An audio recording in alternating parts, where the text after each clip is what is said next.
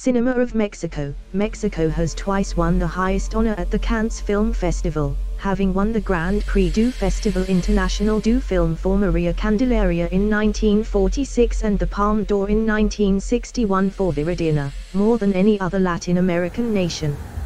In 2019, Roma became the first Mexican film and fourth Latin American film winning the Oscar for Best Foreign Language Film. Mexico entered production in the silent film industry with several movies, but many of the films up to the 1920s have been lost and were not well documented. The decree stated that films that showed the following were prohibited, views representing crimes, if they do not include punishment of the guilty parties, views which directly or indirectly insult an authority or person, morality or good manners, provoke a crime or offense, or in any way disturb the public order as a result of the limitations placed on film content as well as the radicalization of the parties involved in the armed conflicts, cameramen and producers began to display their opinion through the films they produced.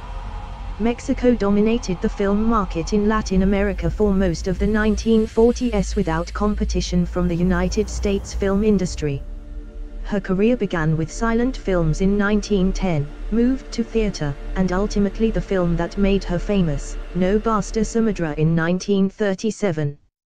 His films represented Mexico in notable international film festivals. Some films nominated for the Academy Award for Best Foreign Language Films of the time are the 1960 Macario, 1962 The Pearl of Tlayucan, 1975 Letters from Marusia,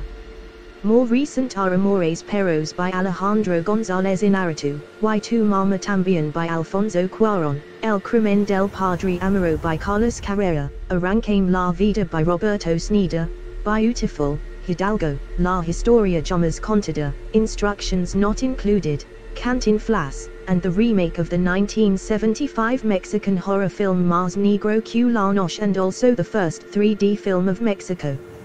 In 2017, Alfonso Cuarón traveled back to Mexico to film his most intimate film, Roma.